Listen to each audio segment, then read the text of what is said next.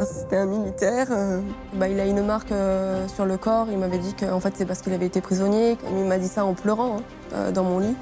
Et en fait, en parlant avec une amie, elle me dit c'est pas lui. Elle m'envoie une capture d'écran. Sur ce profil, il y avait une photo de lui et sa conjointe avec marqué 10 ans d'amour.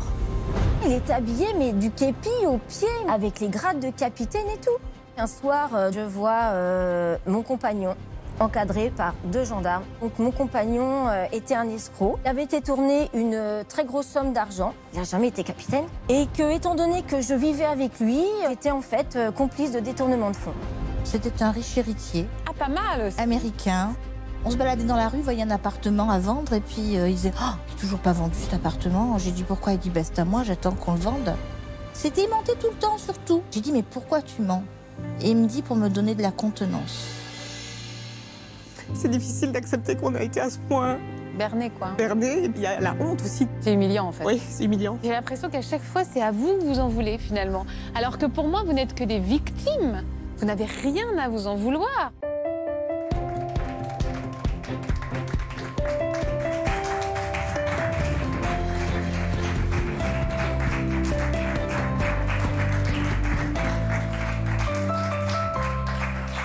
Bonjour à tous, je suis comme toujours très heureuse de vous retrouver et impatiente de découvrir avec vous les histoires palpitantes de nos invités. Des récits qui vont une nouvelle fois nous montrer que les scénarios de fiction n'ont rien à envier à la réalité. Les femmes qui m'entourent aujourd'hui ont un jour rencontré le prince charmant. Enfin, ce prince charmant leur a en fait menti sur toute la ligne. Sa vie, son métier, son quotidien, tout était faux. C'était un beau parleur, un manipulateur ou carrément un mythomane C'est peut-être la question qu'on se pose. On va tenter justement de mettre des mots et de décrypter ces histoires d'amour toxiques avec Florian Ferreri, notre expert psychiatre. Bonjour Bonjour. Florian. Bonjour Faustine. Merci d'être avec nous et bienvenue à tous dans Ça commence aujourd'hui.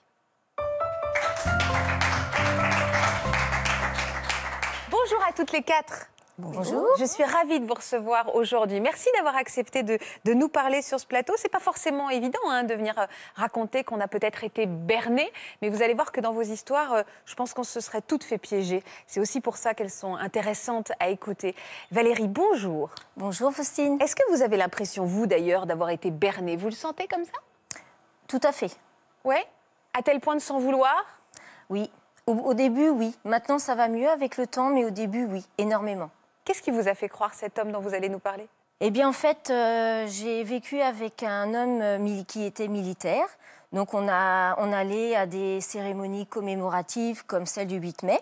Ouais. Et puis, en fait, euh, ben, il s'est avéré que c'était un escroc et j'ai failli me retrouver en prison à cause de lui. Quel genre d'homme c'était?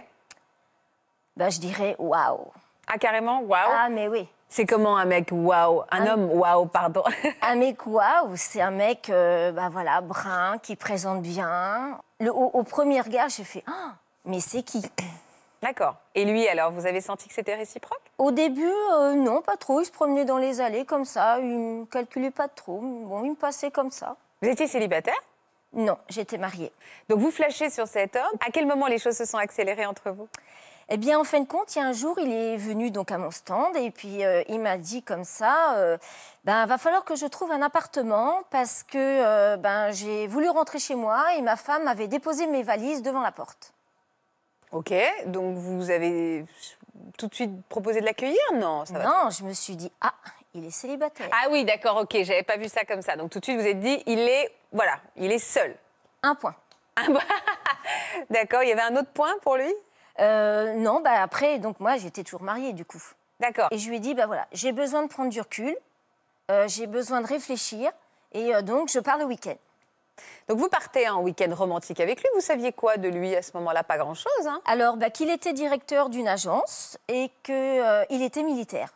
Les deux en même temps, directeur d'agence et militaire. Oui, Ça vous a pas paru un peu bizarre? Pas du tout. Au contraire, directeur, militaire, waouh, re-waouh. Mais il vous montrait des preuves Vous voyez des choses qui vous laissaient croire que vraiment il était militaire? Oui, j'ai vu des photos. Euh, il était dans les paras et euh, je l'ai vu. euh, euh, avec- Para et directeur d'agence? Alors ça, c'était avant qu'il soit directeur. Mais j'ai vu des, des, des photos où il était, où il montrait, voilà, il était en manœuvre avec son béret rouge en, Ah ouais. en treillis et tout. Oui, donc c'était oui, très vrai, c'était très Ah oui, vrai en fait. Oui. Vous êtes tombée amoureuse? Ah bah je, oui, oui. Après Au point de faire quoi alors? Bah du coup, après, on a emménagé ensemble. Ah, carrément. Donc vous avez quitté votre mari? Ah oui, Vous avez oui. tout quitté en fait oui. Après ce week-end-là, ouais, j'ai- tout plaqué. Ah ouais, alors vous, un week-end et vous plaquez tout. Oui, bah oui, parce que je me dis, euh, euh, on n'a qu'une vie. euh, c'est c'est le bon. Euh, C'est maintenant quoi. C'est maintenant, voilà. Mais alors il partait quand on est militaire, on part, on part en mission. euh, Ah oui, le week-end, ils partaient en manœuvre. euh, on allait, euh, euh, comment dire, on participait à des cérémo- cérémonies commémoratives comme le 8 mai, le 11 novembre, tout ça. Mais il s'habillait quand il partait en manœuvre, vous le voyez mettre un- son, son- son uniforme? Oui, alors sur ce, j'ai une petite anecdote, c'est qu'un jour, donc du coup, bon, il a passé des grades, donc il est quand même arrivé capitaine. Et donc, euh, il a fallu pour euh, aller à une cérémonie bah, qu'il aille chercher son habit d'officier. Et donc, euh, il m'a emmené en voiture, on s'est garé sur le parking. Donc, il m'a dit, par contre, tu m'attends dans la voiture parce que les, civils ne sont pas acceptés. Donc, il a présenté une carte, euh, comment dire, au mess. Et, euh, et donc, euh, il est rentré, il est ressorti avec son, son habit, son... C'est bizarre. quand. Oui, donc il n'y avait rien qui pouvait vous laisser penser que c'était une fausse histoire. Ah non, non, il était habillé, mais du képi au pied, mais avec les grades de capitaine et tout. Mais Vous, êtes- vous êtes, ré- ça a duré combien de temps avant qu'il y ait quelque chose qui puisse le trahir entre vous? Un an et demi. Donc pendant un an et demi, il n'y a rien qui vous a mis la puce à l'oreille? Alors, rétrospectivement, il aurait pu y avoir des choses. Comme euh, il y a un week-end, il était parti en manœuvre. Et puis donc, il revient le dimanche soir assez tard avec euh, son sac de sport, du coup. Et donc, euh, il me met euh, bah, tout- toutes ses affaires dans la machine à laver. Et au moment de mettre la machine à laver en marche, je me fais la réflexion, j'ai fait, mais quand même, pour être un week-end en, en manœuvre, j'ai fait, mais ces affaires sentent pas trop la transpiration quand même. euh.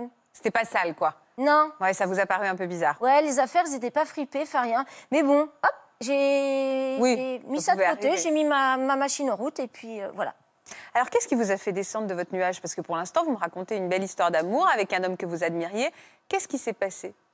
Eh ben, il s'est passé qu'un soir, euh, donc il rentrait d'habitude euh, sur les coups de 19h.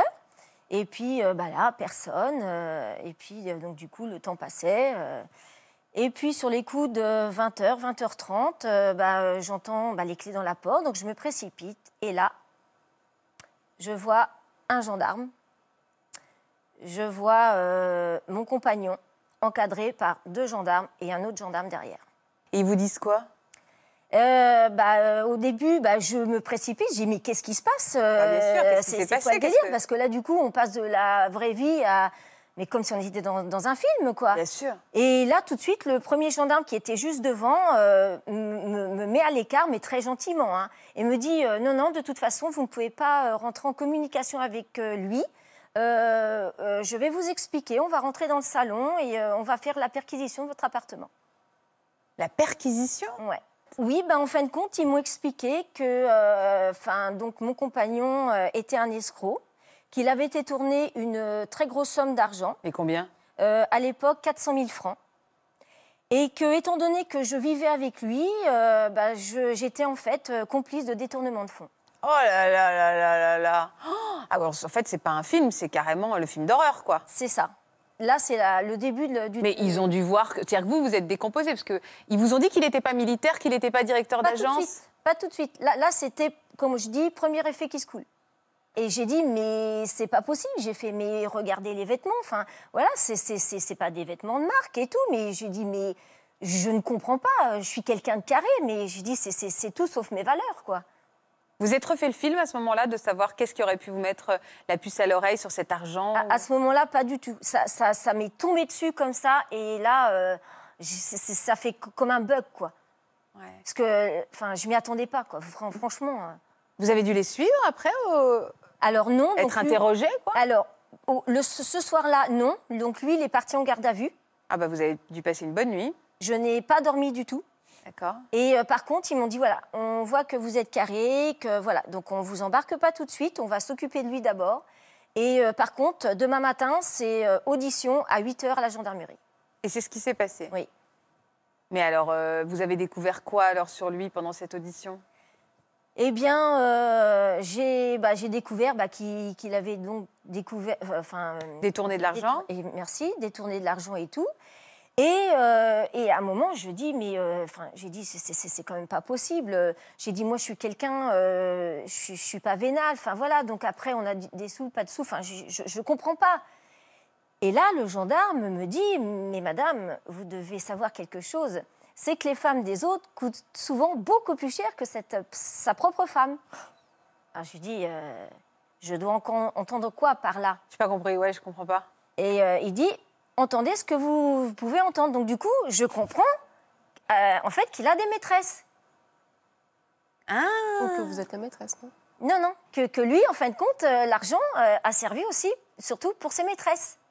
Moi, l'argent, je je- j'en ai jamais vu la couleur. Ah Donc en gros, il vous a pas fait de cadeau et il vous fait comprendre que en fait, il en a fait à d'autres. Exactement. J'ai compris. Donc vous, vous vous prenez dans la figure que c'est un escroc, qu'il a détourné 400 000 euros, qui vous a trompé. Mhm. Et à quel moment vous allez comprendre, enfin, euh, à quel moment vous allez comprendre qu'il n'est pas militaire? Enfin, que- comment vous allez pouvoir connaître la suite? Et donc, c'est quand je comprends qu'il m'a trompée que je dis au gendarme mais c'est quand même pas possible. Mais comment un capitaine de l'armée et directeur d'agence peut se faire avoir euh, par d'autres femmes comme ça Enfin, je dis, mais enfin, c'est quand même quelqu'un qui, a- qui a, euh, avec un, qui est gradé, qui a, qui a- enfin voilà, qui a les, les- les- les idées- en place et tout. Mais Et alors, c'est là où ils vous disent. euh, Et là, le gendarme, il me regarde, il me fait Capitaine Il n'a jamais été capitaine. Vous ressentez quoi à ce moment-là, Valérie? Deuxième effet qui se coule. Ah ouais. Ah bah ouais. j'ai Ah, mais fait- là, vous, qu'est-ce qu'on ressent en fait Eh ben, on se On est en colère, la déception, le, le- Ah, mais- la trahison. Eh ben, là, c'est tout. C'est la, c'est, oui, c'est la trahison, c'est la colère. C'est un mélange de tout. C'est- ouais, c'est, ça. Mais on se dit, mais, mais, mais, mais comment En fin de compte, c'est la colère vis-à-vis de lui, parce que mais comment il a pu me faire ça? C'est la colère vis-à-vis de moi. Comment j'ai fait pour pas voir? Mais comment je suis passée à côté? C'est en, fin de compte, ouais, je pense que ce qui prime, c'est la colère, ouais. Mais après, il y a le chagrin aussi, parce que cet homme-là, vous l'aimiez, il vous rendait heureuse. Au-delà de, de- du fait qu'il vous ait menti, euh, l'homme, euh, Eh oui. vous l'aimiez, quoi. Ouais, mais euh, enfin, je je pense que la colère et tout, ça, enfin, franchement, c'est ce qui prend le dessus, quoi. Puis vous aimiez quelqu'un de faux, en fait. Donc finalement, ça, ça balaye tout ça. L'homme que vous aimiez n'existe pas, en fait. Ah ben c'est ça, puis euh, ça fait comme un, un- un colosse au pied d'argile, là, d'un seul coup, pouf euh, Mais C'est vous, cool, quoi. vous l'avez pu lui, parler ou moi, vous l'avez pas hurlé dans la salle à côté en l'insultant? Alors, ce qui s'est passé une première fois, c'est que le gendarme qui le- qui l'interrogeait, en fait, à un moment revient euh, tout paniqué en disant Oh là là, vite, vite, euh, appelez le médecin, euh, il se sent pas bien, il a des sueurs, il a, il a le cœur, enfin voilà, en tachycardie et tout. euh. et moi, je venais d'apprendre ça et je crie Vous avez qu'à le laisser crever et donc, du coup, euh, pour répondre à votre question, j'ai dit voilà, j'ai dit maintenant, euh, donc du coup, j'ai été blanchie. Et, euh, Et lui, il a eu quoi? Alors, donc, il a eu trois ans de mise à l'épreuve, 18 ans de prison avec sursis, obligation de remboursement. Et il devait voir le, le JAP, donc le juge d'application des peines, tous les mois. Et euh, il devait normalement euh, être suivi médicalement. euh. Ce qui est terrible, c'est que vous, après, en fait, vous rentrez chez vous, dans cet appartement où vous dites tout est faux, en fait. Et cette histoire d'amour n'a pas existé. Enfin, ça doit être extrêmement éprouvant pour vous. Ouais. On balaye euh, un an et demi de votre vie. Avez- J'ai- perdu l'homme que j'aimais, j'ai perdu mon travail, j'ai perdu ma maison, enfin l'appartement. On a- J'ai vraiment tout perdu. Est-ce que c'est de la mythomanie? Est-ce qu'on est vraiment. Enfin, est-ce que c'est de la vraie mythomanie, Florian?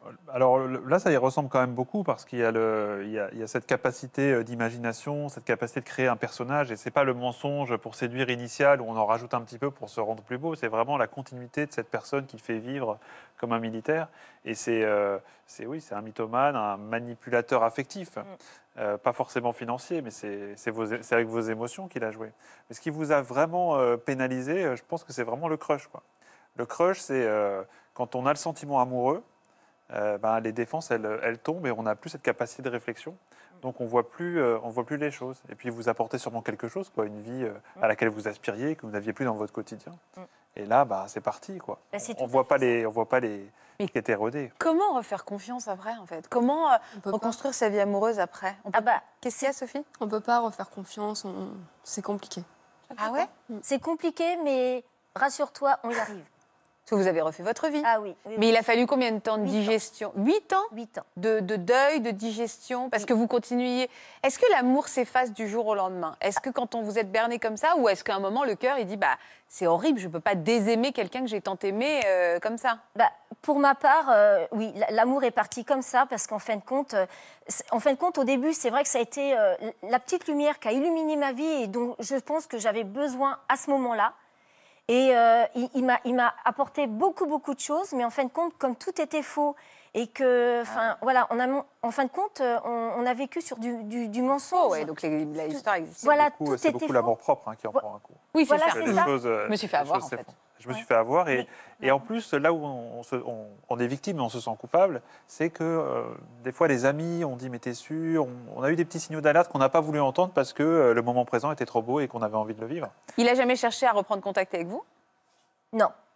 Non. C'est pas frustrant ça de ne pas pouvoir mettre un point final sur une histoire? Mais euh, je, non, mais je me, je me pose encore la question maintenant s'il il aurait pu effectivement m'expliquer quelque Ah oui, quoi que s'il ce aurait soit. été capable Parce que c'était d'assumer. vraiment son histoire, c'était sa vie, il croyait, il est. C'est ça la définition d'un mythomane. Le, le mythomane, euh, il ment euh, tout le temps, mais surtout il se ment à lui-même. C'est-à-dire qu'à un moment donné, le personnage il est tellement vrai qu'il l'incarne et il laisse ce personnage. Et quand ça s'effondre parce qu'il est démasqué, euh, c'est terrible pour eux aussi, même si on n'est pas là pour le plaindre aujourd'hui, mais c'est terrible. Sophie, ça fait écho à votre histoire? J'ai l'impression, Oui. hein, parce que vous l'écoutez avec beaucoup d'attention, Valérie. hein. Un petit peu, ouais. C'est toujours douloureux pour vous? Oui. Pourquoi c'est autant douloureux? Parce que c'est plus récent? Je vous en prie, Sophie, c'est normal. Est-ce que vous vous reconnaissez dans ce que dit Valérie? Vous y pensez tout le temps? Je suis toujours dans cette histoire, donc euh, oui. Pourquoi vous êtes toujours dans cette histoire? Parce que c'est pas digéré encore? C'est pas digéré parce que euh, il y avait encore de l'amour, parce que j'y ai cru encore longtemps, parce qu'il est parti, il est revenu, Vous l'aimez toujours aujourd'hui? Je pense. Parce que sinon, je réagirais pas comme ça. Cette émission va vous faire du bien. Parler va vous faire du qu'il bien. s'en aille. Il faut qu'il arrête maintenant et, et qu'il me laisse refaire ma vie. Enfin, du moins que moi j'essaye. Et... Voilà. C'est courageux de venir ici. Vous allez voir faire du bien.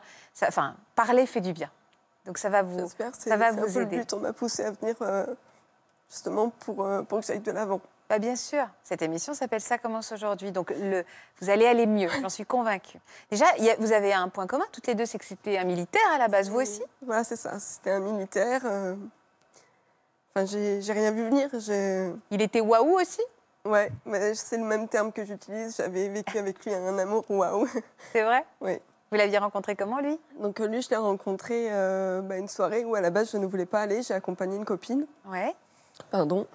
je vous en prie. Et euh, ma copine a commencé à parler avec quelqu'un, donc euh, bah, je la laisse faire. Enfin, je voulais pas me mettre au milieu, donc je prends mon téléphone, je vais sur Facebook, je parlais avec, avec des amis. Et d'un coup, euh, il y a quelqu'un qui se met à côté de moi et, et qui me parle, mais j'ai pas, j'ai pas fait attention. Et du coup, j'entends juste la phrase, excusez-moi pour le gros mot, mais euh, si je t'emmerde, tu me le dis, quoi. Et euh, du coup, je lui dis pardon.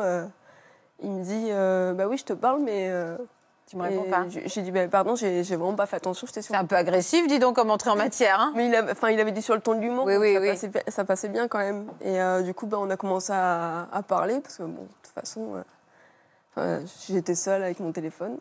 Et je le trouvais particulièrement charmant, donc euh, voilà, on a échangé euh, une bonne partie de la soirée. Qu'est-ce qu'il avait de charmant? Pourquoi il était charmant? Il avait un très beau regard, un très beau sourire, euh, même la façon qu'il parlait. ouais, Il vous plaisait, quoi. Ouais. Vous étiez célibataire? Oui. Et il l'était, lui? Ce soir-là, oui. Ouais. Ouais. L'histoire est allée vite en- entre, Oui. entre vous? Très vite, parce qu'il était en mission dans ma région, donc Ah, en mission. C'est-à-dire que lui aussi, il était militaire. Ouais. Donc, Ouais. dans quel fusil et commando. Voilà. commando Ah, au départ, on a vécu vraiment une histoire amoureuse. euh, Classique. Il me, ouais, voilà, il me racontait pas euh, trop de choses. Il me disait juste euh, bah, qu'il allait au travail. Euh, il avait son badge dans la voiture, enfin son passe. Il avait un badge comme les militaires qui rentrent dans la base. Et il me disait qu'il formait des, qu'il était là pour former des gens dans, dans ma région parce qu'il n'était pas d'ici. D'accord. Euh, Quel genre- Il vous racontait des anecdotes parfois Parce que quand on revient du travail, on raconte un peu. Oui, il me disait, bah là aujourd'hui, là, il fait de la plongée avec ses gars euh, pour les mettre en condition, euh, que c'était pas forcément évident, que l'eau était froide. euh, donc je dis, bah ça a dû être dur. En plus, bah, à 6 h du matin, cache comme ça, pauvre réveil, quoi. Enfin, Il devait avoir vécu des choses difficiles, non? Oui, après par la suite, il m'a raconté. Donc un soir, on est allé en soirée. Il a un petit peu bu, donc il s'est un petit peu plus ouvert. Et il m'a dit Oui, euh, tu te rends pas compte, ça a été euh, difficile. euh, J'ai dû tuer un, gamin à bout portant parce que c'était les ordres. Il m'a dit ça en pleurant hein, dans mon lit. Après, il me dit euh, que bah, a une marque sur le corps. Il m'avait dit que fait, c'est parce qu'il avait été prisonnier, que c'est ses collègues bah, que j'avais croisés du coup quand il était en mission ici, enfin dans ma région. Il me dit, ben, ça c'est un coup de couteau. Voilà, C'était donc, pas euh, des petites anecdotes, hein, quand même, ce qu'il vous raconte. Non, non. euh, Vous l'avez ouais. cru, en fait. Ah oui, ben, en, fait, en plus il pleurait, donc euh, j'étais obligée de le croire. euh, il m'a fait de la peine, je l'ai réconforté. Il m'avait fait euh, lire un, un livre euh, qui s'appelle Les tueurs de la République. Il m'a dit, bah, tu comprendras, lis-le, tu comprendras mieux mon métier. Il y, avait tout qui collait, même euh, le badge. Ouais, ouais, euh, ouais. tout, Et il dormait avec vous tous les soirs euh Euh, alors, il rentrait tous les 15 jours dans sa région. Et euh, au départ, en fait, vu que je voulais quand même y aller euh, doucement, euh, il venait régulièrement, mais pas tous les jours. Oui, bien sûr, c'était une- un début d'histoire euh, d'amour. Il me disait, j'ai envie de profiter un maximum de toi parce qu'après, bah, je ne sais pas où est-ce que je vais être déployée. euh. Bah Alors justement, il a été déployé quelque part à un moment Il, Il, a parti été déployé au bout de cinq mois Ouais. aux Émirats. Voilà. Et euh, au départ, je n'avais pas de contact parce qu'il m'avait dit qu'ils allaient euh, le mettre en condition, qu'ils allaient prendre son téléphone, euh, qu'on ne pourrait pas se, se contacter, etc. Et qu'il fallait qu'il crée une boîte mail. Donc euh, quelques jours plus tard, je reçois effectivement euh, un mail euh, avec une nouvelle boîte mail qu'il a créée. ouais. Et euh, il me dit euh, voilà, on va bientôt partir, on ne sait pas encore quand, euh, mais je pense très fort à toi. euh. Enfin, voilà, c'était vraiment très soft, mais plus, plus d'échanges textos. Et, euh, après, euh, cinq jours après, là, il me dit que ça y est, ils sont aux Émirats. Euh, pareil, qu'il pense très fort à moi, qu'il m'aime, mais qu'il sent que ça sent mauvais, on ne sait pas trop. Ah, Euh, vous deviez être inquiète, vous, dis donc. ah, je me suis, j'étais hyper angoissée. Je me suis dit, est-ce que je vais le revoir? Euh, Il me disait, ça sent mauvais, je sais pas comment ça va se passer. Quelle horreur. Ouais, ouais, c'était c'était compliqué parce que j'essayais de lui, récon- enfin, lui remonter le moral parce qu'il me disait que ça allait pas moralement. Ouais, vous étiez amoureuse, ce que vous nous racontez, c'est un début d'histoire d'amour tout Voilà, à fait joli même. Et alors, comment vous avez découvert du coup, j'ai découvert quelques semaines après. Donc, euh, je l'ai laissé parce qu'il m'envoyait quand même des mails euh, tous les, euh, tous les 5-10 jours. Et en fait, en parlant avec une amie qui vivait dans ma région, Mhm. mais qui a vécu dans la sienne, Ah. quelques années auparavant, qui a vécu 12 ans dans la sienne, elle me dit bah alors comment t'as rencontré ton chéri Euh, Ça se passe bien euh, Je savais pas pour toi et tout. Et, euh, et du coup, je lui explique. Et elle me dit mais attends, elle me dit c'est le frère de un tel. Et je lui dis oui. Elle me dit mais je les connais. Et du coup, elle commence à me dire mais oui, son père il fait ça, sa mère a fait ça. Euh, Je lui dis ah bon, bah, c'est pas la version que j'avais. Mais... Ah oui, c'est pas la version que j'ai, ouais. Ouais, voilà. Enfin, il avait euh, déformé quelques, quelques. Mais rien de grave, quoi, a priori. Rien de grave enfin, par rapport au fusil commando. euh. Euh, et du coup, elle me. Enfin, moi, je l'avais cherché sur Facebook. Il m'a dit qu'il n'y avait pas de réseaux sociaux parce que, euh, ben, en tant que fusilier commando, ils étaient obligés de se couvrir pour protéger leur famille et tout ça. Donc, euh, du coup, euh, je l'avais jamais trouvé. Et elle, en fait, elle a cherché avec un pseudo. Et elle me dit, c'est pas lui. Elle m'envoie une capture d'écran. Et je lui dis si. Sauf que là, Il avait un profil Facebook. il avait un profil Et Facebook. il y avait quoi sur ce profil? Sur ce profil, il y avait une photo de lui et sa conjointe, avec marqué 10 ans d'amour, euh, qu'il avait posté euh, deux jours euh, auparavant. Deux jours à- à- avant juste que avant je le sache. voilà. Et moi, au même moment, il m'avait envoyé un mail en me disant un mail enflammé en me disant je t'aime, t'es la femme de ma vie, t'es merveilleuse. Enfin, Et, et alors sur ce profil Facebook, il disait quoi qu'il faisait dans la vie? Alors sur ce profil Facebook, déjà d'une part, j'ai appris que du coup, bah, j'avais un statut de maîtresse que je ne voulais pas parce que si j'aurais su qu'il y avait quelqu'un, il ne serait jamais venu chez moi. Et j'ai appris qu'en fait, il n'était pas fusilier commando, mais ouvrier euh, dans une base navale, quoi. Il réparait des bateaux. Il réparait des bateaux. Qu'est-ce qui s'est passé en vous, euh, Sophie, au moment où vous découvrez la page Facebook? C'est horrible. hein Sur le moment, bah, j'ai raccroché. Je ne pouvais plus lui parler. Et euh, ensuite, je- ça a été. euh, pardon. Je vous prie. Le trou noir. hein. Oui, Vous- je, je me suis retrouvée euh, à plus pouvoir parler. euh, C'était le néant. Et d'un coup, euh, là, enfin, je comprenais pas ce qui m'arrivait. Donc, Ah euh, je, je me suis mis à chercher. J'ai parlé avec mes amis parce qu'il était tard, il était 1h30 du matin, mais certaines étaient encore connectées. Donc, j'en ai parlé à mes meilleurs amis. Et euh, ils m'ont dit Mais tu vas faire quoi? Et je lui ai dit Je sais pas. Et alors, il n'était pas aux Émirats en plus? Il n'était pas aux Émirats, il Ça, était vous juste rentré chez lui. Ah, il était juste chez lui, à- dans, dans sa région. Voilà, et moi je m'inquiétais, je m'angoissais. Oh là là là là là. Je lui ai donné 48 heures pour réfléchir. Vous lui avez envoyé un message sur Facebook en lui disant en fait, je te laisse 48 heures pour prendre contact avec moi, qu'il faut qu'on ait une explication. Voilà, je lui ai dit que j'avais besoin d'explications, que j'avais besoin de comprendre parce que je lui avais tout donné, j'avais tout fait pour lui, je, je m'étais même mis un petit peu à l'écart de tout le monde. Je lui ai dit donc maintenant euh, j'ai besoin de d'explications. Alors que lui, Il fêtait ses 10 ans de mariage avec sa compagne, quoi. Il n'a pas répondu sur le moment. Euh, alors déjà sur, le- par texto parce qu'il m'avait bloqué, mais ça je le savais pas. J'ai essayé de l'appeler, ça sonnait un coup, il s'est raccroché. Euh, donc j'ai envoyé par mail sur la boîte mail que j'avais et euh, sur Messenger. Et le message n'avait pas été lu, donc euh, je lui ai laissé 48 heures. Au bout de 48 heures sans nouvelles, euh, là j'ai commencé vraiment à avoir la colère qui monte. Oui, je comprends. Et euh, j'ai essayé de chercher sa conjointe sur euh, Facebook. Vous l'avez trouvé Non, je ne l'ai pas trouvée elle, mais euh, j'ai trouvé sa meilleure amie. Et du coup, elle m'a demandé si on pouvait s'appeler, donc je lui ai donné mon numéro de téléphone et elle me dit mais explique-moi parce que je comprends pas. Elle savait pas du tout qu'il mentait comme ça Non, non, non. Et euh, moi, en fait, pour essayer euh, de, de le chercher, en fait, euh, j'avais mis une photo de- en profil de, de lui et moi et j'avais laissé paraître quelques trucs visibles en public et du coup, elle me dit je crois qu'on a compris. Donc, Elle l'a vu, sa conjointe, ce que vous aviez mis? Non, non, non, elle n'avait pas encore vu elle. hein. En plus, elle n'a pas Facebook, donc je risquais pas de la trouver. Mais du coup, sa meilleure amie, elle me dit Mais je fais quoi? Je lui dis bah, Écoute, tu fais ce que tu veux. Je lui dis Maintenant, tu connais toute l'histoire. Je lui dis Si tu as envie de lui dire, tu lui dis. Je lui dis Si tu veux pas lui dire, tu lui dis pas. Je lui dis Moi, dans tous les cas, je la chercherai. Elle a le droit de savoir la vérité. Et euh, en fait, elle a appelé euh, donc cet homme-là. Et euh, elle lui a dit Écoute, j'ai eu une certaine personne au téléphone. Je suis au courant de toute l'histoire. Donc, soit, soit tu lui dis la vérité, soit je le ferai moi. Et en fait, c'est ce qu'il a fait le lendemain matin. Il a essayé de lui parler, essayé de lui dire. Sauf qu'au lieu de lui dire la vérité, euh, il lui a dit euh, bah, qu'il avait rencontré une fille, qu'il l'avait trompée, c'était juste un coup d'un soir. Euh, mais il s'est arrangé avec la vérité, vraiment, Voilà. euh, du début jusqu'à la fin. hein. C'est ça. Parce que c'était la fin de cette histoire ou pas du tout? Euh, bah, moi, je crois que j'étais toujours avec lui. Et, mais lui, il était toujours avec. euh, Non, non, c'était pas la fin non plus. hein. Oui, mais après, ça s'est arrêté. Vous, vous avez mis une croix sur cette histoire. Bah, du coup, c'est ce que j'ai voulu faire. Donc, j'ai coupé les ponts. Euh, après un mois après, il est revenu doucement à m'envoyer des messages pour savoir comment j'allais, prendre des nouvelles. Bah, vous alliez mal Bah oui, mais bon, ça. euh, Pardon, Parce que clairement, c'est ce que je lui ai dit. Je lui ai dit, qu'est-ce que t'en as à foutre? Bah ouais, je crois que j'aurais euh, pareil. il me dit, ben non, crois- détrompe-toi, j'en ai pas- détrompe-toi, j'en ai pas rien à foutre. euh. Ah bah, il voulait le beurre et l'argent du beurre, en fait. Il voulait vous garder et garder sa À conjointe. la base, je pense que c'était vraiment bienveillant son message. Et euh, il a continué à m'en envoyer une fois par semaine. Euh, jusqu'au. euh, Enfin, ça faisait trois, trois mois à peu près qu'il m'envoyait des messages. Et là, il me dit. euh, il m'envoyait des citations, toujours des je t'aime. Donc là, j'ai commencé à y croire de nouveau. Ah, vous êtes retombée, bah, vous étiez très amoureuse, quoi. Voilà. Et après, il est venu encore bah, deux mois après, il est venu dans ma région. Donc on a discuté. Il est reparti, il est revenu. Il a dit qu'il allait venir me chercher. Donc moi, j'y ai cru. Et, et après, bah, là, on a vu une émission de, de Ça commence aujourd'hui sur le polyamour Oh avec euh, Loïc, Puce et Mini Puce.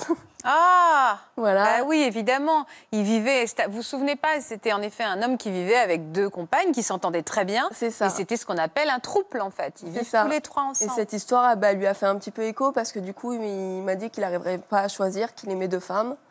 Et euh, du coup, euh, Facile. sa Ah, femme, après, bah, vu qu'elle savait tout, du coup, il lui en a parlé, il m'en a parlé. Et en fait, on a décidé de se rencontrer donc un mois après. Pour essayer de vivre tous les trois? Déjà pour apprendre à se connaître. Et euh, du coup, je pense qu'elle avait besoin de savoir des vérités, moi aussi. Parce Dis donc, pas- vous êtes compréhensive, vous, parce que. On a euh, essayé du moins. Non, mais vous n'étiez pas compréhensive et surtout très amoureuse. Mais... Euh, Donc vous êtes retrouvée nez à nez avec sa femme, en fait, Oui. pour Ouais. savoir si éventuellement vous pourriez vivre à trois. Bah, la, la première fois qu'on s'est vus, c'était déjà euh, pour savoir tout ce qui s'était passé. Elle avait des questions à savoir qu'est-ce qu'il avait fait avec moi, euh, euh, qu'est-ce qu'on a pu, pu vivre ensemble. Et moi, bah, je voulais savoir euh, qui il était vraiment, parce qu'au final, je ne le connaissais pas. C'était. euh, Et il était, avec, il était avec vous au moment de cette rencontre? Oui, oui. on Et il était- pas mal à l'aise? Bah, je pense qu'il devait être un petit peu mal, mal à l'aise, mais après, c'était. Donc il a écouté en fait sa, sa vie, sa vraie vie ressortir entre deux femmes qu'il aimait en disant bah moi il m'a dit ça, bah, moi il m'a dit ça, ah donc il m'a raconté ça. ouais, après, on a eu des petits moments où on n'était que toutes les deux. hein. Donc. Et, alors que sa femme était à côté? Euh, ben, non, non, euh, elle et moi. Elle et moi, on discutait Ah d'accord. Et vous, elle est sympa? Elle est très sympa. Ouais. Au point que vous vous êtes posé la question de vivre tous les trois? Ben, on s'est posé la question parce qu'on l'aimait toutes les deux et euh, on savait que bah, l'une sans l'autre, il était malheureux. Donc on s'est revus à plusieurs reprises. On a effectivement essayé euh, euh, bah, cette vie entre guillemets polyamoureuse, parce qu'on n'a pas vécu ensemble, mais on s'est vu, on, on prenait des locations pour se voir assez régulièrement et tout ça. Mais au final, euh, c'était destructeur pour elle et pour moi. Et au bout d'un moment, j'ai coupé les ponts parce que bah, moi, c'était. euh, J'y arrivais plus parce que j'avais toujours cette place d'option de, pièces rapportées. C'était eux plus moi, c'était pas un trouble. C'était. euh, Enfin, j'y trouvais pas ma place et euh, il fallait que je fasse attention à toi. À chaque fois, il me disait fais attention à elle, dis-lui ça. Euh, Enfin, c'était au bout d'un moment, moi aussi j'ai une vie, moi aussi je suis là. J'avais besoin d'avoir ma place à part entière et. Vous avez quand même tenté euh, le trouble. Dis donc, il est tombé sur deux femmes euh, très amoureuses. Oui. Et vous lui avez pardonné tous ces mensonges, en fait. On lui a pardonné beaucoup, mais c'est vrai que toutes les deux, il y avait quand même pas mal de rancune. Ah bah oui. Et, euh, et on avait quand même, même si on s'entendait bien, on a quand même une certaine jalousie euh, l'une envers l'autre parce que euh, il a fait des choses avec l'une, il a fait des choses avec l'autre. Et, et après, à elle, il lui disait euh, Ben, Sophie, elle est ci, Sophie, elle est ça. Et euh, à moi, euh, des fois, ben, il était un petit peu rabaissant dans ses propos. Et à elle, euh, il lui disait, et à moi, il me disait ben, Elle, elle est ci, elle est ça, elle est parfaite. Enfin. Et vous n'avez pas rencontré quelqu'un d'autre? J'ai rencontré quelqu'un d'autre, mais ça n'a pas fonctionné. Et en plus, c'était un menteur aussi. Donc, Ah, alors ça soulève plein de questions, Sophie. Déjà, est-ce qu'il y a des femmes qui ont en elles quelque chose qui font qu'elles sont peut-être, j'en sais rien, hein, plus, plus amoureuses, plus passionnées, plus fragiles Enfin, des femmes qui sont plus à même de tomber dans ce genre de panneau. Avec, euh, enfin, panneau. Encore une fois, sans aucun jugement. hein. Je pense qu'on est toutes capables de tomber euh, là-dedans. Mais néanmoins, est-ce qu'il y a un terrain un peu plus propice? Il y a un terrain, c'est des personnes un peu, un peu sensibles, qui, euh, qui sont empathiques, ont de la compassion Oui, pour les gens. Et comme les menteurs sont sur euh, le registre, finalement, quand on y repense, ils sont factuels, mais pas tant que ça, ils sont sur le registre affectif. C'est vraiment, euh, j'ai euh, j'ai un travail très prenant, effectivement, on m'a fait faire des choses euh, très difficiles, j'ai des responsabilités, euh, et puis euh, des mots d'amour qui viennent souvent. Donc on est sur, euh, sur quelque chose qui est très déstructurant. Et on n'est euh, on n'est pas tous égaux par rapport à ça. Il y en a qui ne ressentent pas, mais quand on est quelqu'un d'émotif, de sincère, d'entier, bah, on est plus vulnérable. C'est une qualité d'être comme ça, mais des fois, ça devient quelque chose qui nous joue des tours. aujourd'hui, ça me bouffe la vie. Comment passer à autre chose, en fait? Alors, c'est c'est pas évident. C'est surtout le, traumatisme, c'est de la perte de la confiance en soi qu'on a. C'est-à-dire qu'on a, on a l'impression que euh, euh, qu'on va toujours être la pièce rapportée. Et le, euh, le moyen de s'en sortir, c'est d'une part de se dire que c'est l'autre qui a un problème et c'est pas soi-même, et de lutter contre les conduites d'évitement. C'est-à-dire les conduites d'évitement, si on a vécu quelque chose de traumatisant, on va tout faire pour pas renouer de nouveaux contacts au risque de vivre ça. Alors que c'est contre votre nature, parce que vous êtes quelqu'un d'affectif justement, de sociable. Il faut absolument retrouver euh, des relations sociales, qu'elles ne soient pas forcément amoureuses, et faire le deuil de cette relation, c'est-à-dire cette personne-là. euh, Désolé de vous le dire aujourd'hui, mais je pense qu'il n'y a pas beaucoup d'avenir avec elle, parce que c'est très mais- difficile de changer pour ces personnes. Ça, j'en suis consciente après. Maintenant, c'est décrocher. Voilà, c'est dire maintenant, euh, ça suffit, c'est stop. Et, et tu me laisses tranquille parce que même euh, quand euh, bah, j'avais rencontré une autre personne, euh, j'ai vu son comportement changer avec moi. Il n'était pas, il était pas tendre dans ses mots. Donc, euh, ça, ça m'angoissait, je culpabilisais. Et vous n'arrivez pas juste à le bloquer, bloquer son numéro, bloquer son truc, bloquer tout C'est pas fait. si simple. Après, on peut se faire aider aussi, hein, de, de parler de ça. Bah, déjà, aujourd'hui, je pense que c'est une étape quand même. J'ai vu un psychologue. Et, euh, et voilà, et puis voir euh, et travailler sur la confiance en soi parce que c'est Oui. quelque chose qui a été très ébranlé par, euh, par cette relation et, et en, en tout cas, on s'en remet toujours. Mais, on- mais ça Oui. nous change. Pourquoi avoir voulu en parler aujourd'hui? Pour m'aider à avancer, justement. Bah oui, je comprends. Alors, il faisait quoi? Est-ce qu'il était militaire, vous, cet homme qui a un peu brisé votre cœur Pas aussi? du tout. Il n'était pas militaire. Alors, il faisait quoi, lui? Euh, C'était un riche héritier, Ah, pas mal aussi. américain, Ah, pas mal. pas mal. Je l'ai rencontré au travail Ouais. et j'avais un, un chef euh, qui me laissait pas trop tranquille et je crois qu'il avait compris qu'il Ah, il y s'est avait un interposé. souci. Donc, il a été sauveur un peu. Voilà, il a pris ma défense. Donc j'ai un peu sympathisé avec. On, on mangeait ensemble le midi euh, en équipe. Et puis euh, c'était un, un gars euh, très érudit, très Ouais. intelligent vraiment. Alors il s'était inventé des études qu'il n'avait pas faites. enfin bon. Et puis surtout, alors il ne me l'avait pas dit lui-même, mais c'était un collègue de travail qui me disait Ah, il est vraiment. c'est un mec, il est vraiment bien, il est intelligent, ce gars. Et puis, oh, il parlait de son père, il venait de perdre son père, donc euh, aux États-Unis, et surtout, il était séropositif. Un soir, on est allé boire euh, tous un, un verre avec euh, mon responsable, donc il ne me lâchait toujours pas. Et euh, il se trouve que euh, ce verre, c'était juste à 200 mètres de chez moi. Alors pour une fois, je n'étais pas obligée que mon responsable me raccompagne, ça m'arrangeait. Et puis, et puis il me dit, donc je savais qu'il venait de perdre son père, je savais qu'il était séropositif, même s'il ne me l'a pas dit ouvertement, moi je le sais. Quoi. Mhm. Et, euh, et se trouve qu'en plus c'était l'anniversaire de sa sœur, avec qui il ne voyait plus depuis longtemps. Et euh, il n'avait pas le moral et, il me demande euh, si ça ne me gêne pas s'il vient dormir chez moi. En plus, il n'y avait plus de, de bus, donc euh, c'était un peu compliqué. Alors, oui, je lui ai dit, écoute, de toute façon, moi, je n'avais pas l'intention qu'il se passe quoi que ce soit, mais je lui ai dit, tu sais, j'ai un petit 21 mètres carrés, j'ai qu'un canapé, hein, et il y a le petit lit de ma fille qui n'était pas là la semaine, du coup, parce que je rentrais tard, elle, elle dormait chez ma mère. Et il me dit, non, non, c'est pas grave. Bon. Puis finalement, il n'est jamais parti, quoi. Jamais- C'est-à-dire qu'il a. Bah, il s'est passé un truc. Bah oui, j'ai bien compris. Oui, ça. C'était pas prévu, mais il s'est passé un truc. Et, vous, et vous êtes tombée un peu amoureuse, quoi. Bon, en tout cas, vous avez apprécié le moment, quoi. Voilà, Voilà. voilà. Il, était il était gentil, il était j'avais peut-être besoin qu'on me protège. Je m'étais fait un peu malmener avant, j'avais peut-être besoin qu'on me protège. J'ai chouchouté. Alors, qu'est-ce qu'il vous a raconté après comme histoire, donc? Bah, hormis qu'il était un riche héritier américain, euh, euh, alors il avait toujours des soucis avec ses papiers parce que euh, il n'arrivait pas à refaire son passeport. on se baladait dans la rue, voyait un appartement à vendre et puis il disait oh, il est toujours pas vendu cet appartement. J'ai dit pourquoi? Il dit bah, c'est à moi, j'attends qu'on le vende. J'ai J'habite Ah oui, dans donc il est- 21 mètres carrés, on peut pas aller vivre dans un appartement qui est plus grand.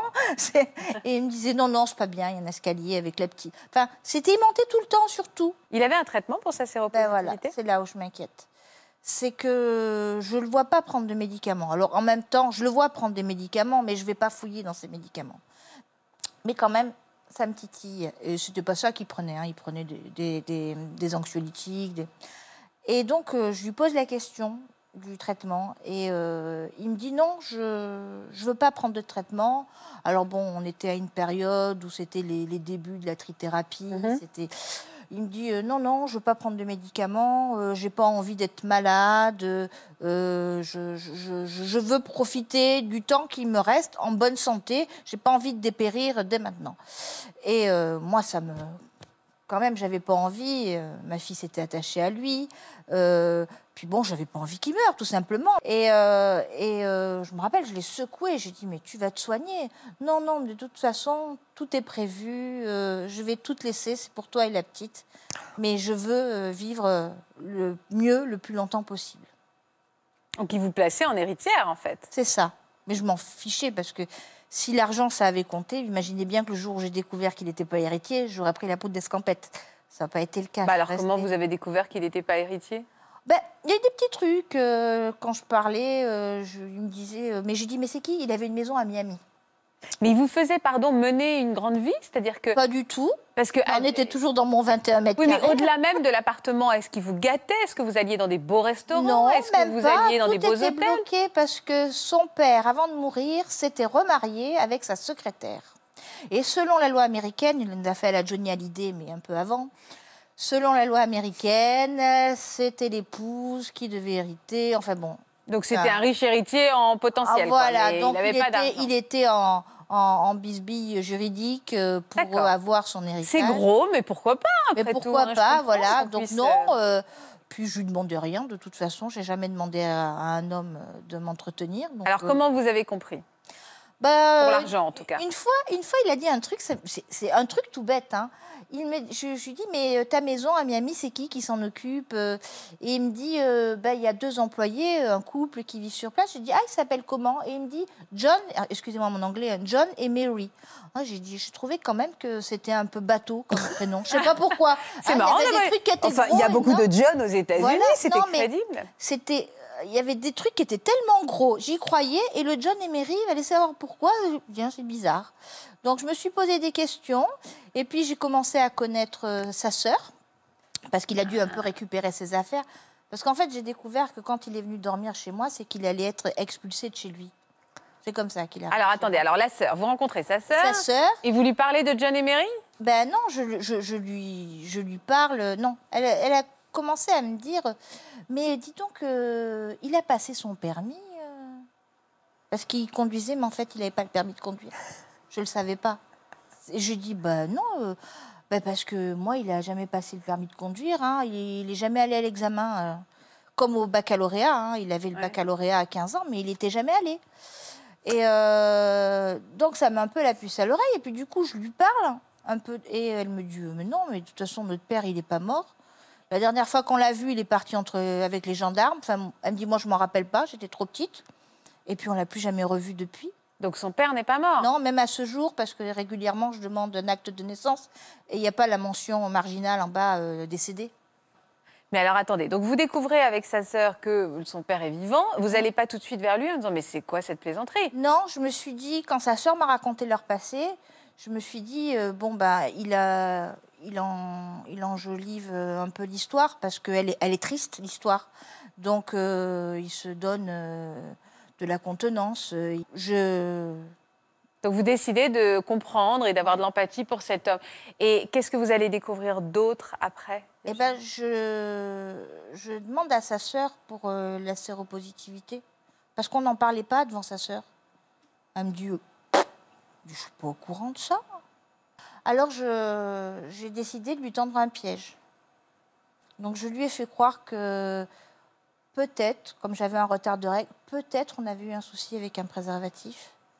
Et que j'aimerais savoir, vu qu'il m'avait menti, s'il était vraiment séropositif, parce que je n'étais pas capable de, vivre une, grossesse dans, dans ces conditions. Et euh, là, il m'a dit, euh, bah, en fait, euh, j'ai couché, j'ai eu des rapports avec une fille euh, il y a quelque temps, enfin avant de me connaître. Et j'ai appris plus tard, sans me protéger, donc, et j'ai appris plus tard qu'elle était morte du sida. Mais ça fait pas de lui quelqu'un. Mais j'ai jamais fait le test. Et je lui dis, bah, écoute, on va aller faire le test. Et puis, le test est négatif. Et alors il est heureux ou il a même pas l'air surpris? Non, lui, il est impassible. C'est là que je me suis dit, c'est pas juste pour enjoliver la, la vérité. Il y en a un problème. Alors, quelque part, je me suis dit, bon, bah, il est pas séropositif, il est mythomane. Quand quelqu'un a le cancer, on le quitte pas. Bon, ben, on va soigner. Hein. Enfin, il va soigner. Et il me promet qu'il va se soigner. Vous avez découvert d'autres choses encore derrière? Non, Oui. beaucoup là. Ah Un bon? jour, euh, c'était euh, à la même période hein, où je découvre tout. On toque à ma porte, à mon petit 21 mètres carrés. On toque. Et euh, c'était un huissier. Et en fait, euh, il, avait, euh, il avait été condamné pour escroquerie. Il travaillait dans les assurances et il avait fait signer des contrats d'assurance vie à des personnes âgées. Et En fait, c'était lui qui il encaissait les chèques. Oh là là là. Et il y en avait pour l'époque, ça faisait 130 000 francs. Vous l'avez quitté sur le champ quand vous avez découvert Ben ça non, parce que c'était qu'il était malade. Alors, euh, ça a été très difficile de, de se séparer, ça a été très long. Enfin, très long. Je l'ai vite fait mettre dehors, mais ça a été très long. Et j'ai pas mal de procédures en cours euh, pour lui, procédures judiciaires. Et alors, il déménage tout le temps, hein. il est malin. hein. Quand on le retrouve, hop, il part ailleurs. Et euh, je voulais vraiment lui mettre la main dessus parce que j'en avais ras-le-bol. Et je l'ai trouvé, bêtement en plus. Je l'ai trouvé, il était sur une liste aux élections municipales. En tapant son nom, on est tombé dessus. le gag. Les gags. Ah ouais, et donc, j'ai réussi à trouver le quartier, j'ai appelé le, j'ai appelé le candidat, j'ai Vous l'avez réussi à savoir Ah où ouais. était le Bah logeur. oui, oui, oui. Il loge au- chez un, un marchand de sommeil, on va dire. Et, et je suis arrivée là-bas dans le but de, de régler les, les comptes, euh, voilà, qui, qui, qui fassent, euh, qui fassent face à ce qu'ils doivent euh, affronter. Et là, euh, bah oui, je suis tombée sur quelqu'un qui était enfermé dans sa chambre depuis neuf jours, parce qu'il allait être mis dehors, parce qu'il ne paye jamais rien. Il a des dettes, c'est faramineux. Et euh, je suis tombée sur quelqu'un complètement abruti par les médicaments. Et je lui ai dit qu'il n'avait pas d'autre solution que d'aller à l'hôpital. Bah, bien sûr. Ça se guérit, la mythomanie. Ça, c'est, on est vraiment dans le cas d'un vrai, vrai gros mythomane. hein. Ah là, le- la description est euh, livresque presque, avec une fuite en avant perpétuelle. C'est, c'est- le, le- le service où il est hospitalisé euh, vient seulement de comprendre qu'il leur mentait. le- Ça fait six mois que je l'ai retrouvé, sept mois. c'est vraiment très difficile à prendre en charge parce qu'il n'y a pas de demande de soins. Non. Des personnes qui, sont, euh, qui passent à une nouvelle histoire et du coup, quand il n'y a pas de demande, c'est difficile d'aider les, les personnes. On arrive des fois à limiter un petit peu euh, les conséquences euh, de, de leurs propos, à travailler un petit peu sur leur histoire personnelle, pourquoi ils en sont arrivés là. Mais il faut reconnaître que les effets sont assez Ils subtils. peuvent mentir au psy. Alors ils ça. peuvent, ils peuvent manquer euh, de sincérité au psy, et de, de franchise, et du coup, c'est effectivement, si on travaille sur une histoire, une, une trajectoire de vie et qu'elle est complètement fausse, Mais eux, sert pas à eux grand-chose. aussi, ils sont un peu perdus dans ce qu'ils disent parce qu'ils doivent croire à leurs mensonges, non? Ils sont, à l'instant où ils le racontent, ils y croient. Et c'est pour ça qu'ils sont, il y a une forme de sincérité. C'est-à-dire qu'ils sont vraiment, euh, ils incarnent ce qu'ils disent et ils le pensent. J'ai Euh, parlé avec lui au téléphone il y a une dizaine de jours. Non, même pas une dizaine de jours, euh, au, dé- au début de la semaine. Et euh, parce que l'hôpital ne voulait plus le garder parce que justement ils se rendaient compte que bon, alors ils lui ont mis un peu un ultimatum et je, lui dit euh, mais non tu peux pas sortir dans cette situation. J'ai dit explique-toi. J'ai dit écris au, au psy et explique ta motivation, explique que tu te mets dans les ennuis, que tu mens parce que maintenant à moi il me parle parce que je suis la seule qui sait tout, à qui il peut pas cacher, à qui peut plus rien cacher. Et euh, j'ai dit mais pourquoi tu mens?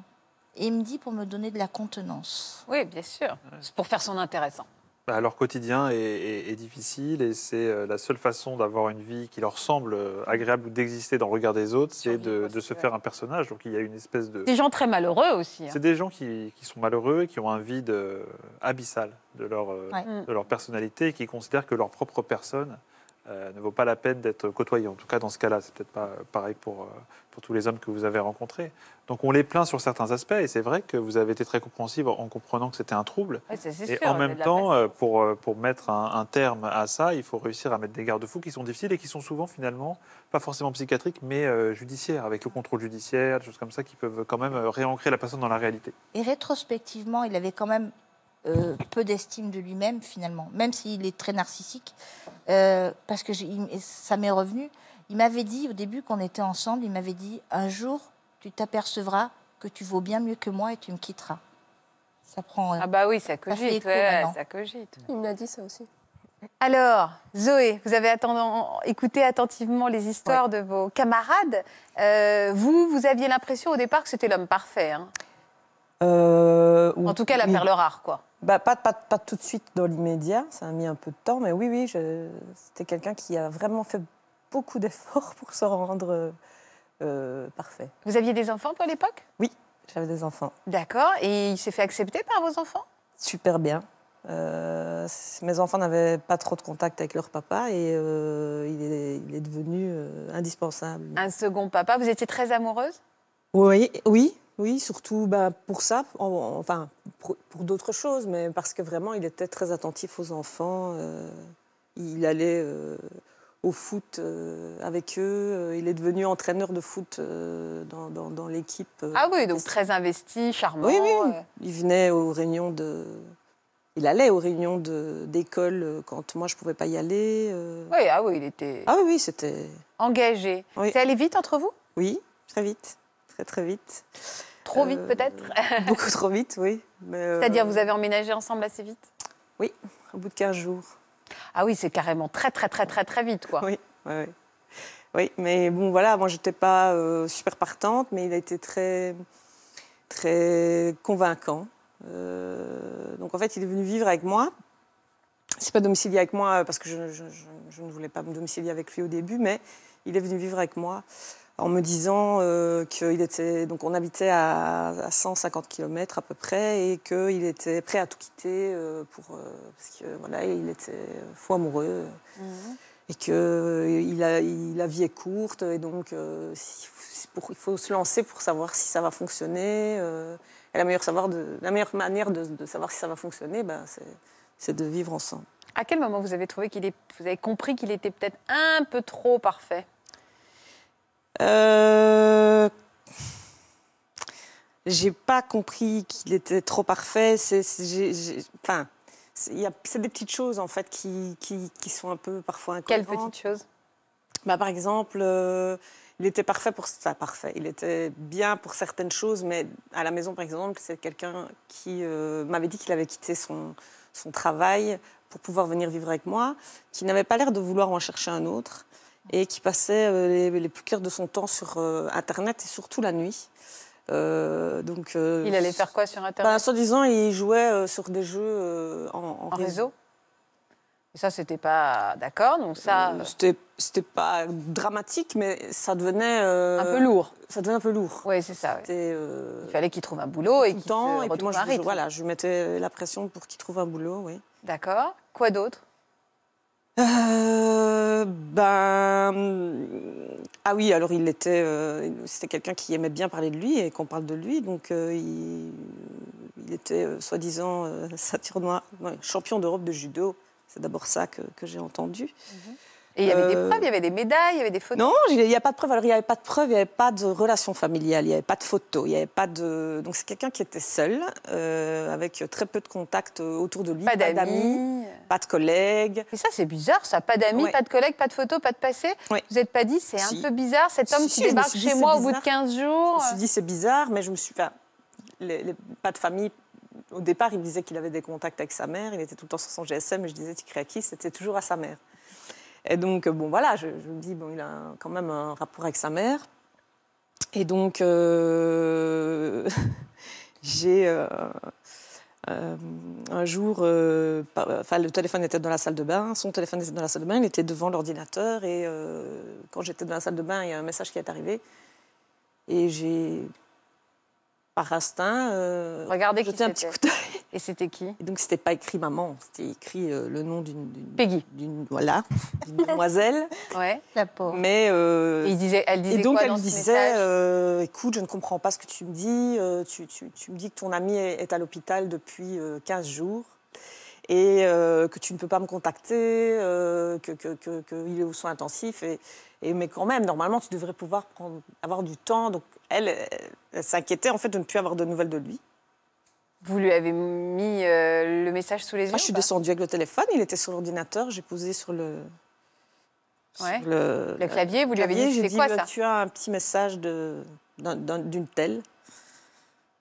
Comme Il ça, était hein, mal Comme je vous dis là maintenant. Euh, bah, il a tout de suite arrêté ce qu'il faisait. Il a pris son téléphone. Moi, je suis montée. Il est, remonté, il est monté près de moi. Et il a commencé à me dire écoute, euh, euh, en fait, cette fille-là, je l'ai connue avant toi, mais euh, ça ne marche pas du tout entre nous. Euh, euh, J'arrive pas à m'en débarrasser. Elle me harcèle tout le temps. Je je veux pas lui faire du mal, donc je lui raconte des trucs pour que pour qu'elle se lasse en fait.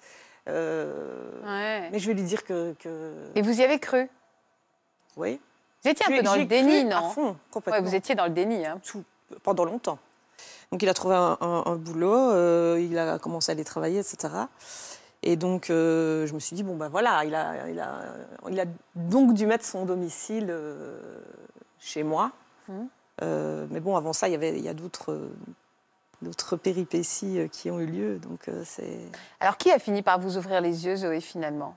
En fait, il y a quelqu'un qui avait, depuis le début, vu hein, complètement. C'est ma sœur qui m'avait tout de suite dit Je le sens pas, le sens pas. Ouais. Je le sens pas, il n'est pas clair. euh, ce qu'il dit, c'est pas. Cohérent C'est trop, c'est trop. Trop, trop, trop de choses. euh, je suis ici, je suis là, euh, voilà. je- et trop de- d'actes, en fait, parce qu'il était parfait chez moi, mais il était aussi parfait avec les autres. Dans les, dans les soirées, c'était le clown de service. tout le monde l'appréciait. Donc, elle a enquêté sur lui, elle a un peu fait, oui. Elle a- dans votre dos? Oui, dans mon dos. Et qu'est-ce qu'elle a découvert, alors? Ben, donc, elle a découvert euh, que- qu'il avait euh, une vie euh, avant, qu'il avait été marié et qu'il avait des enfants dont je n'avais pas euh, connaissance. Il avait plusieurs enfants? Il avait plusieurs enfants. Et il vous l'avait jamais dit? Non. Mais il les voyait pas depuis tout le temps Ben non. Non. Donc, il y a tout En fait, un il y avait- passé. Il j'avais avait connaissance- entièrement changé de vie, quoi. Ah oui, oui, j'avais connaissance d'un enfant qui n'était pas le, celui euh, avec la personne. Ouais. Donc, c'était avec une autre personne. qu'il Ah, donc il avait eu plusieurs enfants de Oui. plusieurs femmes différentes. Oui, et donc euh, j'avais connaissance d'un enfant et il m'avait expliqué que euh, sa compagne, enfin son ex-compagne, ne voulait pas qu'il le voie, qu'elle était, qu'elle était dingue, hein, parce que tout- tout- tous ses ex étaient dingues, il faut, Ouais. bien, faut bien se mettre ça, c'est ça en fait. Et donc, euh, que- que- qu'elle ne voulait pas qu'elle- qu'il voit sa fille, euh, qui comprenait, euh, son fils, pardon, qui ne comprenait pas pourquoi elle agissait de, de cette manière. Mais vous l'avez confondu quand votre sœur a trouvé ça, elle lui a dit regarde. Ah, mais, donc, quand ma sœur m'a dit, enfin, en fait, ma sœur m'a pas dit tout de suite, elle m'a dit, écoute, il faut vraiment que tu, tu- tu lui poses des questions, euh, vraiment, c'est pas clair, il faut vraiment qu'il te parle. euh, donc, va, parle-lui, mets-lui la pression. Et moi, c'était plutôt, euh, bah, s'il veut me parler un jour, il me parlera. Euh, Je m'imaginais jamais que c'était des trucs. euh, Aussi grave. non, je me suis dit oui, peut-être qu'il y a des trucs, mais je pensais plus à peut-être des dettes ou des Ouais. choses comme ça, comme il n'avait pas de domicile, etc. Euh, mais je, je- je- jamais, non. Mais quand vous avez découvert qu'il avait d'autres enfants de Donc, femmes, en fait, on était à une soirée, ma soeur était d'un côté de moi, il était de l'autre, et euh, elle me dit, euh, Chassia m'a donné à côté de moi, elle me dit, est-ce que tu lui as parlé? Je dis, arrête, quoi. Ah, si tu veux pas lui parler ou il veut pas te parler, moi je vais te dire, en fait, euh, il a été marié et il a des enfants. Donc, ouais, alors là, alors là, euh, je, je suis comme ça. Donc elle me dit ça là, je réponds même pas, je me retourne et je lui dis euh, Tu es marié, tu, tu as des enfants? Il, il me regarde, il est imperturbable, il me dit Oui, et alors? Voilà. ah ouais, ouais, d'accord. Oui, et alors? Et donc là, moi, je suis Et alors? Bah, et alors euh, Je sais pas, c'est peut-être oublié euh, un petit détail euh, qui aurait quand même été important de le dire. Donc euh, la soirée s'est un peu finie tendue. Donc, euh, mais pour... bon, moi, j'étais un peu dans une culpabilité où j'ai tout quitté pour toi, je- j'ai quitté mon boulot. Donc vous l'avez Donc pas ça, mis c'était- dehors en fait? Non, non, ça c'était avant qu'il trouve un boulot. hein. Donc, ça, c'est- Et alors il a fait quoi? Il y a eu d'autres choses derrière? Oui, oui, il y a eu euh, beaucoup. Vous de êtes resté avec lui quand même. Oui, oui. Qu'est-ce qu'il a fait d'autre? Bien, euh, donc il a euh, eu de très nombreuses euh, conquêtes. Euh, parce que je pense qu'il. Donc, ah oui, il était. Qui vantait sa personne, hein, donc il était toujours euh, le meilleur de l'équipe, euh, Ouais.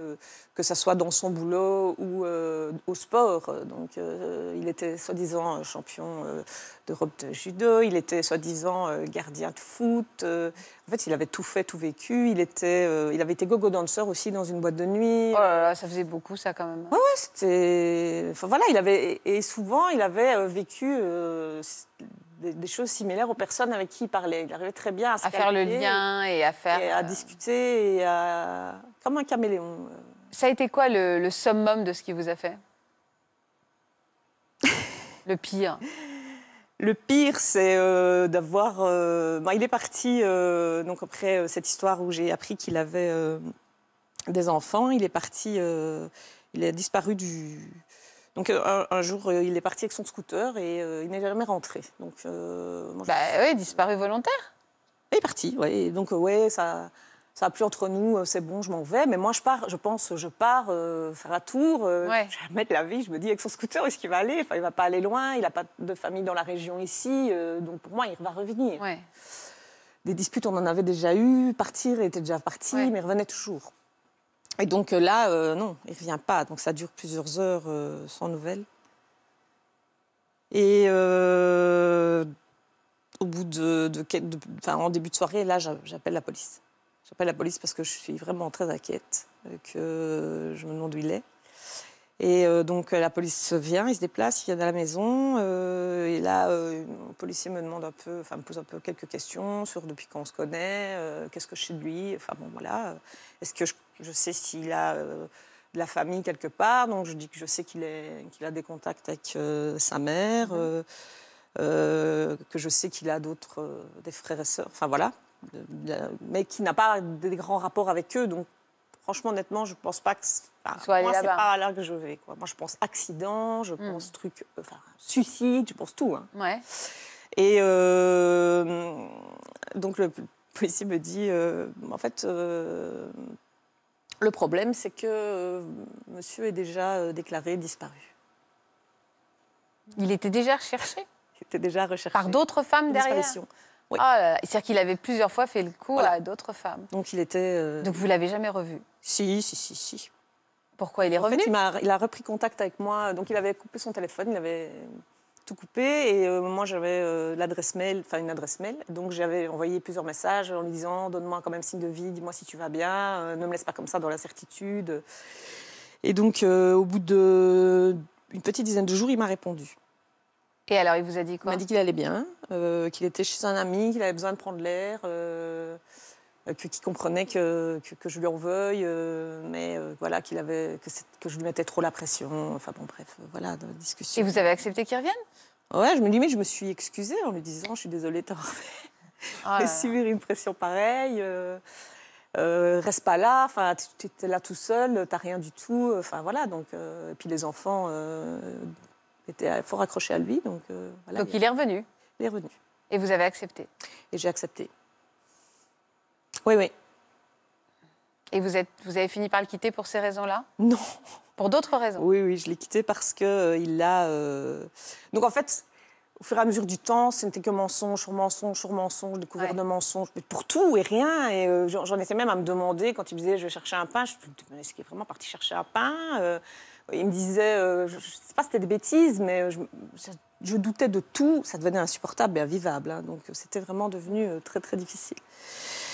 Donc il y avait euh, beaucoup de choses. euh, J'ai quand même parlé de, de ça un peu avec ma famille. J'avais quand même du monde derrière moi, beaucoup d'amis, moi, à, à contraire de lui. euh, et donc euh, il y a beaucoup de gens qui m'ont dit mais attends, ouvre les yeux. Enfin à un moment donné, euh, Hmm. tu crois qu'il va changer Ça fait X années que ça dure. Et alors euh, j'ai commencé moi, à prendre un peu de distance, à m'éloigner. euh, et je pense qu'il l'a senti. Et donc il a euh, commencé à faire comme à son habitude, c'est-à-dire s'inscrire sur des sites de rencontres. hein. et, Et trouver une autre proie. mais trouver notre proie qui était quelqu'un que je connaissais. Ah, sympa. Voilà. Et donc, il, il vous, vous l'avez quitté parce qu'il est parti avec cette femme? Je l'ai mis dehors. J'ai demandé, euh, oui, voilà, à ce que, oui. Pour regretter ces huit ans, Euh, qu'est-ce que vous ressentez?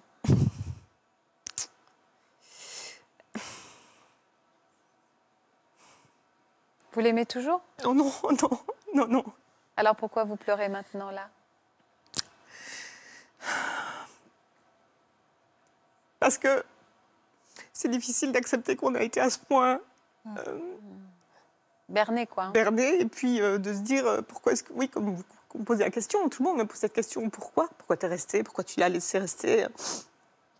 On a un sentiment Et de il y a plein de choses, il y a une culpabilité, il y a euh, des Mais- sentiments, il y a, il y a la honte aussi de te dire euh, aux gens, euh, je vais devoir dire aux gens tout ce que... Enfin, c'est- humiliant en fait. oui, c'est humiliant. Voilà. C'est pour ça que vous êtes là aujourd'hui pour expliquer qu'il n'y a pas d'humiliation à avoir, pour expliquer que vous étiez juste, enfin, vraiment votre Il n'y a pas d'obligation à voir et je pense qu'il y a un truc que j'ai appris maintenant, c'est qu'il faut, il faut suivre son instinct. Et moi, euh, dès le départ, j'avais... C'était pas quelque chose de, de flagrant, mais j'avais eu un mauvais, un mauvais pressentiment sur lequel je me suis dit, allez, arrête, euh, enfin, pourquoi, pourquoi pas, en fait euh, C'était quelqu'un de très séducteur, de très avenant, euh, voilà, donc j'ai pas... euh, j'ai baissé la garde. Voilà. C'est dur parce qu'en fait, vous vous êtes fait avoir toutes. Et j'ai l'impression qu'à chaque fois, c'est à vous que vous en voulez finalement. Alors que pour moi, vous n'êtes que des victimes. Vous n'avez rien à vous en vouloir finalement. Bah, complète- Florian Complètement. C'est euh, cette personne, c'est un peu une technique commerciale. Elle s'est vendue à vous, c'est-à-dire qu'elle a capté assez rapidement vos besoins de- du moment, ceux de l'époque, et elle s'est engouffrée dedans en apportant euh, euh, de la présence, de l'aide, de la chaleur euh, affective. Et euh, comme des fois on achète des choses dont on n'a pas besoin, bah là malheureusement ça a eu quand même plus de conséquences. Et vous êtes vraiment victime. Et, et- mais c'est aussi euh, là, toute la difficulté, c'est de trouver du positif dans ces histoires qui sont très difficiles et de, de voir comment ça nous permet de, de grandir, d'évoluer pour construire un, un avenir un peu, euh, un peu plus sûr, on va dire, au niveau des Oui, relations. d'évoluer derrière ça. Déjà, ce sont des caméléons, ils s'adaptent vraiment euh, à qui on est. Mais bien sûr. Et on s'en veut aussi parce que on se rend compte euh, parfois qu'on a eu des indices sous le nez Et que vous n'avez pas voulu. et on a volontairement, enfin pour ma part, Ouais. on les a volontairement mis de côté pour justement pas descendre de notre petit nuage, pour euh, justement rester bien confortable. Et je pense que c'est ça aussi qu'on. Vous avez fermé les yeux par amour. Vous avez reconstruit votre vie, Zoé Euh, j'ai quelqu'un dans ma vie, mais je veux dire, c'est moi j'ai réussi à, à me dire que tout, que tout le monde n'est pas comme ça. Moi, je, je suis aujourd'hui, je suis, oui, mais Faites confiance. j'ai fait un travail sur moi. J'ai vu un psychologue. J'ai dû vraiment, euh, j'ai dû le faire parce que je sombrais. J'étais vraiment en train de, de me détruire. euh, Ouais. Complètement. Donc, euh, il avait, euh, il m'avait pris toute mon essence, en fait. Tout ce qu'il y avait euh, en moi, j'avais l'impression qu'il me l'avait pris. Et euh, comme je dis souvent, il n'a pas pris mon âme. Et donc euh, ça, c'est heureusement. Hmm. J'ai- pu rebondir là-dessus et avec de l'aide de... de- J'ai demandé de l'aide. Bah oui, je comprends. Et vous avez bien fait de le faire. hein, tout à fait, il faut, faut- se faire aider dans ces situations euh, très compliquées. hein. Et on voit à travers vos larmes à quel point, en tout cas, ces histoires ont complètement été fondatrices dans vos vies, dans vos vies amoureuses, et qu'il faut euh, bravo d'avoir euh, réussi à accepter de vous faire aider et d'aller de l'avant. J'espère aussi que Sophie, vous allez pouvoir aller de l'avant, parce que j'ai bien compris que cette histoire était encore très ancrée dans le présent, quoi, et que vous n'arrivez pas à vous défaire de cet Ça amour-là. fait trois ans. ouais. Je vous souhaite beaucoup de courage en tout cas. Merci beaucoup d'avoir accepté de témoigner sur plateau. Merci Florian d'avoir accompagné nos invités. Merci à vous de leur donner de la bienveillance. On se retrouve demain. Bel après-midi sur France 2. Je vous embrasse. Vous aussi venez témoigner dans Ça commence aujourd'hui. Pour pouvoir avancer et vous reconstruire, vous avez pardonné à votre agresseur ou à l'homme qui a tué l'un de vos proches. Vous avez ressenti le besoin d'écrire à celui qui vous avait fait du mal ou d'aller à sa rencontre pour pouvoir tourner la page. Pour une autre émission, vous avez dû prendre la fuite pour pouvoir vivre une histoire d'amour interdite. Si vous êtes concerné, laissez-nous vos coordonnées au 01 53 84 30 99 par mail ou sur le Facebook de l'émission.